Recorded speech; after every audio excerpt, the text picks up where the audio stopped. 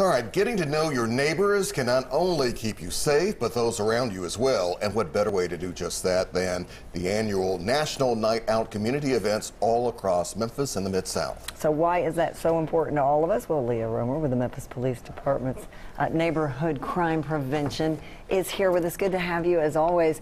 Good to see you. National Here. Night Out Thank is, you. is certainly about getting to know your neighbors, about having block parties. A lot of people make it a lot of fun, but at the end of the day, it's really about keeping families safe. How does it work? Why does it help? Yeah, well, National Night Out was started to bring police and neighborhoods together under a positive umbrella.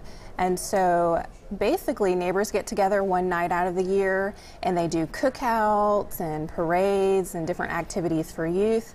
And they get together and the police come out and they basically are taking back their neighborhoods. Mm-hmm. So, what's the takeaway from just going beyond that one night, though? Obviously, most communities, most neighborhoods mm-hmm. want to do even more so because mm-hmm. we're all seeing some type of crime these days, no matter where you live.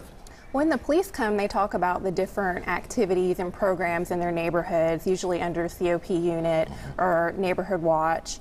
And of course, we have the Neighborhood Crime Prevention Grant here in Memphis. And so once they have these conversations with the police, the neighborhoods, and the faith based organizations, it builds a sense of camaraderie and they get to ask questions that they wouldn't usually get to ask.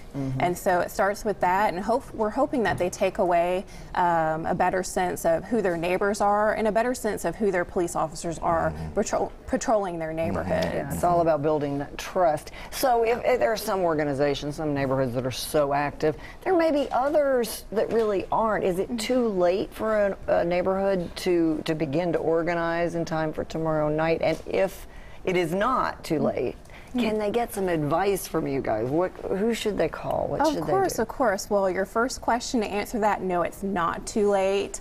Um, a lot of neighborhoods are doing potlucks where they're each bringing a dish and coming together or doing So a don't small barbecue. huh? Yeah, some of them do a barbecue or something like that, and so it's not too late to to ba- uh, band together and and do a last minute activity, of course. Um, but if you're interested in knowing what kind of events are going on in your neighborhood, we encourage you to contact your closest precinct. There's a neighborhood watch coordinator located at each precinct, and they have a list of different events that are going on that are close to that precinct. Okay, cool. You might have a few people out there scratching their heads saying, wait a minute, I thought I remember there was a time National Night Out actually took place Yeah. maybe back in August of each year, but Yes. now here in Memphis is October. Yes. What's going on, Lia? It's so funny. You should mention that, Alex.